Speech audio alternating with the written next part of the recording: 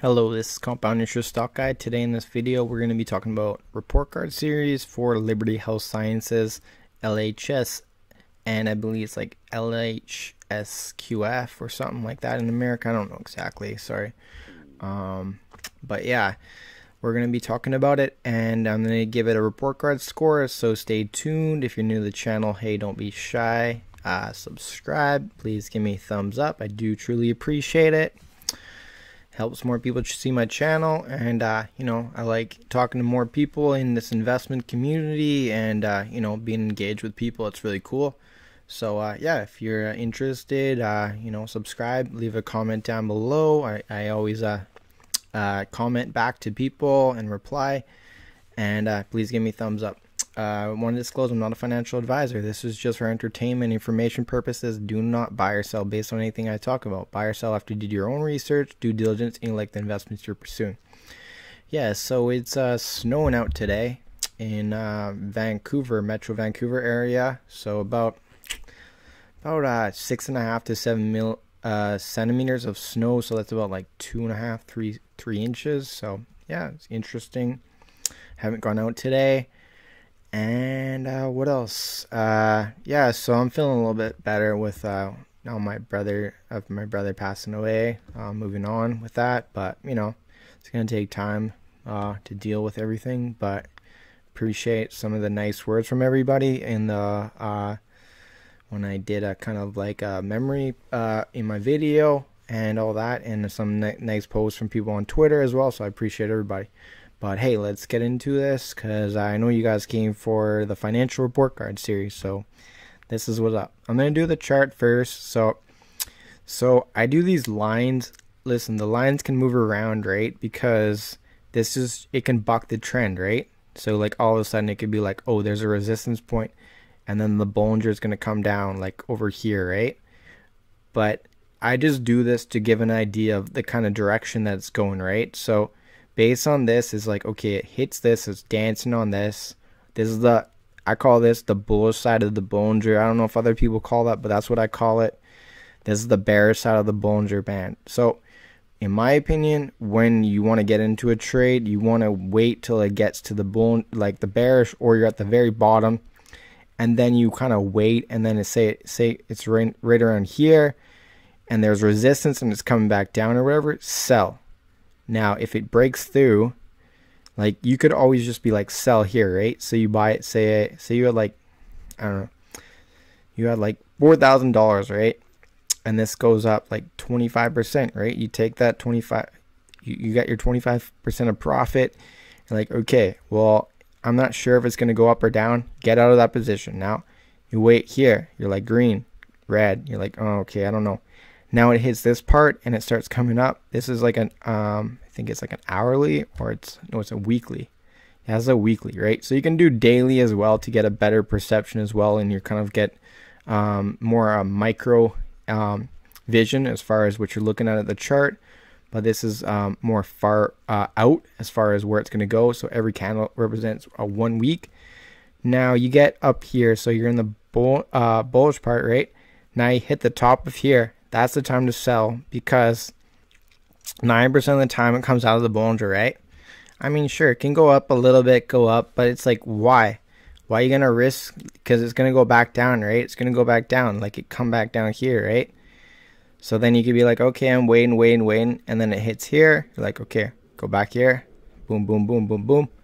There you sell, right? So you're like, okay, 56 cents. You say you're like um, 10,000 shares, right? So that's like 5,600, 5,700 bucks, right? So then you're like 10,000 shares. You're like, okay, go up here. That's like, sell it right here. That's like 7,000. You get your 1,300 or so profit. And then you move on, right? Because you're like, okay, it hits the top of the Bollinger Band. I want to get out. Now, if it comes back down here and it doesn't break through, but you have like a, a tight stop loss, right? You'd be like a mental stop loss. You're like, okay, so 60, right? When you're looking at the uh, candlesticks, and then it's like, okay, it goes down here, down here, you're out, you're out, okay, because it can go back down to 36 cents, and you're holding the bag. You don't want to hold the bag, so get the F out. So, anyways, that's just my ideas for Liberty Health Sciences. Excuse me. if you do own the stock or you're thinking about owning the stock or just for ideas in general for other stocks, right? Because I love the Bollinger Bands. I'm be- I love it. I love it so much because I think if you can really see the Bollinger Bands, I mean, yeah, they're not 100% perfect, but you get an, a better idea. It's kind of scary. Like, it takes us some like watching because you're like, oh shit, it's outside the Bollinger Bands. Like, I got to get out. Um, and it's like, okay, you're like, this is a daily, I believe. Uh, this is daily, one daily. So you're like, okay. And then it keeps riding and it's like out, but then it keeps going up, keeps going up, keeps going up, keeps going up, keeps going up, right?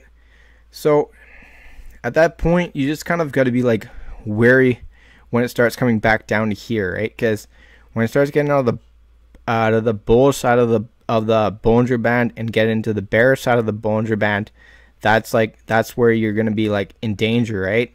So it's just an ideas, right? I mean, you can do anything you want to do, right? But I think it's a good idea to kind of follow the bull side of the bearish of the Bollinger Bands, and then so it's like okay, now it's coming back down to the bearish. It's like right right when it gets down to here, like okay, I'm out.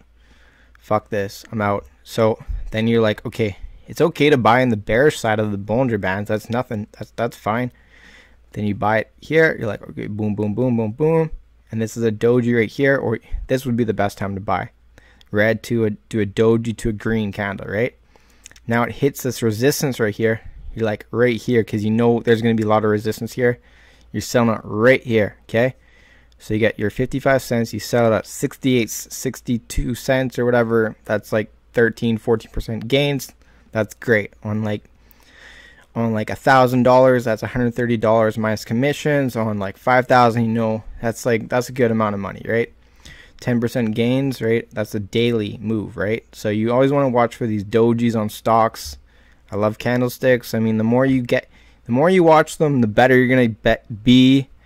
Um, they can really change when you're watching them in live motion, but that's what um, it takes a lot of time, but I mean, I, I recommend watching this. You know, if you're a longer swing trader, use the daily. If you're a day trader, use 15, 30 hour, five hour C because it's really going to show you where the channel you're in, right? Because if it's like, oh, 55 cents to like 71 cents, right?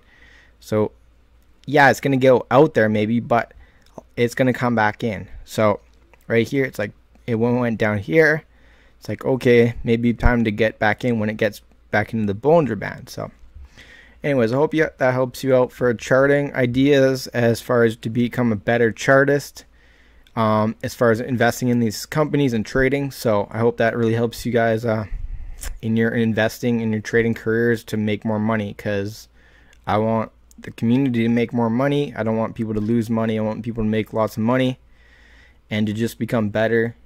So, now we're going to change uh, gears to uh, how many minutes are we in here? Eight minutes. So uh, we're going to do the financial report cards for Liberty Health Sciences. Okay. Maybe maybe I'll do a service. I'll do what what is uh Liberty Health on the OTC.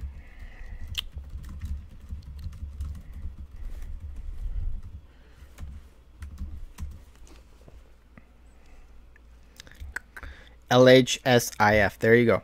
LHSIF. All right. Um, all right, so let's get to the financials. Okay, so they got $28 million in cash, 28.5, right? Inventory about 38 million, which listen, I don't think inventory is a great thing to have necessarily on the balance sheet. Um, but in Florida, it's not a bad thing at all because uh, product is selling very good in Florida, right? So, but in Canada, when the company's got like 130 million, that's like can be a scary thing, especially when the company has it in oils or you know just things that aren't selling. Like there's there's companies that got a lot of product, like Canopy's got a lot of strains that just don't sell well. They're the worst sellers in the BC cannabis store. So I predict that all throughout Canada, they're just not selling very well because they're not a good strain. The product's not very good the price isn't good for what you're getting. So people are finding better values, right? And it's a marketplace, right? The market, you know, figures out what they want to have. Yeah, they they like good quality stuff, but they also like fair price quality and all that. So, you know, people want to get good values, right? That's why I think that the Oxley products with the vapes and the edibles are doing very well and they haven't been around that long, right? People have just picked on and realized that it's a good product, you know, and uh, not as much money. So, all right, so let's go. So, biological assets of 7.47. So, that is uh, like clones and stuff like that when they're in um, just getting ready to be uh, flowers, I believe, or they're just uh, so the inventory is like it's it's in packaged or it's like in big bags or whatever, but this is just on its way to being uh, inventory and other receivables.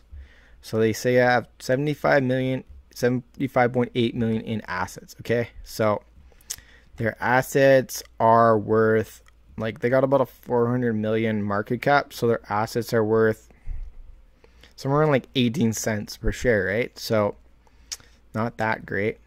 That's their total current assets. Now they have other ones. They got deposits, investments, uh, capital assets. So I I don't have time to go into the capital assets. I'm sure it should be somewhat legit, um, but I don't think that's like I don't know if it's that great the intangible or the capital assets, but it's the you know it's I don't know what it is. I, I'll have to look into it further if I'm if I decide to buy uh, Liberty Health Science, but this I don't have enough time to get into that. Now, with their liabilities, they got 21.65 million. They got accounts payable, 7.5 million convertible notes payable. So it really matters when these notes are payable, right? Because then they're going to convert to shares, and that'll be dilution, right? So something to think about. Deferred tax liability. So when I say it's something to think about, it's like it's like get you people can get all all wrapped up in the hype, right? But sometimes the hype is when all the companies like selling their shares or something like that or institutions are selling or big big money selling their shares, right? So when you're getting in the hype, this is the things that you have to look into, right? So lease liability 18.5 million, deferred tax liability, total liabilities of 55.9, right? So now they got share capital, warrant reserve, contributed surplus, and deficit. So 141 million in shareholder equity and liabilities, uh, 197. So liabilities suck. I mean, really they do. Just sucks. So I don't know why. I don't know why they do that. Like total liabilities and shareholder equity. Like they sh- they should just do like shareholder equity minus liabilities or whatever. But um, maybe they do it somewhere else down here. So now let's get into the financials, their actual uh, revenues. So 16.1 million, and I've already done the math for you guys, so you're welcome. Uh, the cost of goods sold was 6.3 million, so 9.8 million pretty much by like 800, I don't know, 38 dollars, I guess, uh, shy of 9.8 million. So that is really it's a 60.8% margins which is very good. I'm very happy with those margins very happy. Um, uh, this is a gross profit of 9.8 million so i think that's great. Uh, realized fair value amounts um, including the cost of inventory sold. I'm not really sure what that means. Um, including the cost of inventory so realized fair value amount. So I don't know why they had to add that to the gross profit. Like I don't know, it just seems kind of kind of funky. Like it doesn't really add up in my opinion. And this is the the growth of the biological assets, which I'm okay with adding them, but at the same time, you kind of got to be like, oh, adjusted operational income. So what they did for adjusted operational income based on New Cannabis Ventures is like 2.4 million or something. So I kind of look at it like it what it is is the gross profit minus this is 2.4 million, right? But then they add this gross profit and so like this can uh, help their net income next quarter, but I don't really count it at the same standard, right? Like as far as giving them a report card score, I'm more concerned with actually out the door. but I'm not unhappy with it adding to their um, inventory, right? Like I like it that they have inventory in Florida. So um, I'm just looking at it at like a whole picture, right? Because inventory doesn't mean it will necessarily get sold, right? And what if they price it at like 11 or 12 dollars a gram and then say like they can't sell it and they have to lower it to like 8 or 9 dollars or they just don't sell it all, right? Like that's going to be a hit. So that could be like a, a big loss on a future quarter, which I don't really want to see, right? If if I'm investing in this company, I'm not investing in this company, but I'm just saying though, that's things to look at. So then when you look at total other non-operating, you're talking about exchange loss, changes in fair value, uh, interest expense, right? So then when you look at that, right, realistically, they didn't really have an um, any like adjusted operational income in my opinion because I think that should be counted as like interest expense should be counted, right? I mean, because say you got like five million dollars every quarter in an interest expense, well, then are you really profitable? Sure, like yeah, you can be before that, but I don't know. It's like it's like an EBITDA thing, right? That's why EBITDA can be kind of uh, not a real um, like a standard to use because it's like earnings before interest, tax, depreciation, and assets, right? So depreciation or just the interest expenses, right? So some companies got a lot of debt and they got a lot of interest expenses. So net income, so they say 21 and current income tax and they say net income current income tax, yeah, they got to pay 14 million. So now it's net income down to 6.8. So now, if you take away the inventory rate, then they're like they're actually at a loss, right? So that's really boosting them, right? The whole fact that they got the the inventory added, right? Without that, they're at a loss, straight up. But um, yeah, 0.2 cents EP, uh, EPS, earnings per share, and uh, yeah, I don't know. I think I think I'm gonna give them uh, B plus. Uh, they're I mean, I guess they kind of deserve an A minus, but then if you look at the whole scheme of the whole deal, that it's not really an A minus in a lot of senses. But you know, there's there's um there's reasons what that they could be an A A minus. Um, but yeah, that's my opinion. I'm gonna give them. Uh, that's ah, hard. Kind of should give them A minus, but I don't really want to. So you know, it's up to you whether you uh, take it as as a B plus or a A minus. I mean, I'm I'm giving them a B plus, but in um, in some people's uh, Keller, they could think it's an A minus, I guess. So that's what I'm gonna give it for Liberty Health Sciences, LHS, and LHSIF in America. Thank you for watching. Thank you for learning with me uh, about Liberty Health Sciences. If you are interested in this company, you can look at the, their website at libertyhealthsciences.com. Go to investors financials slash dash investors dash in financials. Uh, you, then you can get it yourself. You can look at other financials as well. I'm I'm kind of just doing this for Sheldon Snow I didn't want to do it to begin with just because I wasn't feeling too well and over the last week. Um, well, it hasn't been a week. It's been like three, four days since my brother passed away. But regardless, I'm doing this and I'm moving on in my life. And uh, anyways, uh, thanks for watching. Keep compounding your info. Listen to my lingo. And uh, shaka pace. I'm out.